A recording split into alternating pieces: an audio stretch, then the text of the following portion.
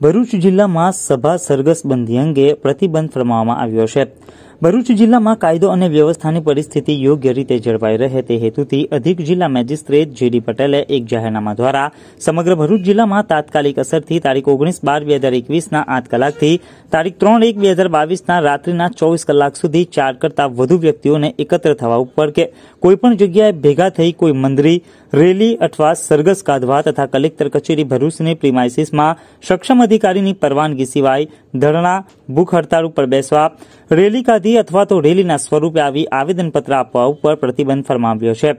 આ હુકમ ફરજ પરના સરકારી નોકરીમાં અથવા રોજગારમાં હોય તે વ્યક્તિને ફરજ ઉપર હોય તેવી ગૃહરક્ષક દર વ્યક્તિઓ, સ્મશાન યાત્રા, અંતિમ યાત્રાને સક્ષમ અધિકારી તરફથી ખાસ કિસ્સા તરીકેની પરવાનગીને લાગુ પડશે નહીં. આ હુકમનો ભંગ કે ઉલ્લંઘન કરનાર કોઈપણ વ્યક્તિને ફોજદારી અધિનિયમની કલમ એકસો પાંત્રીસની પેટા કલમ ત્રણ તથા ભારતીય દંડ સંહિતા અઢારસો સાહીઠના પ્રકરણ દસની કલમ એકસો ઇથ્યાસી હેઠળ શિક્ષાને પાત્ર થશે તેમ જણાવવામાં આવ્યું છે.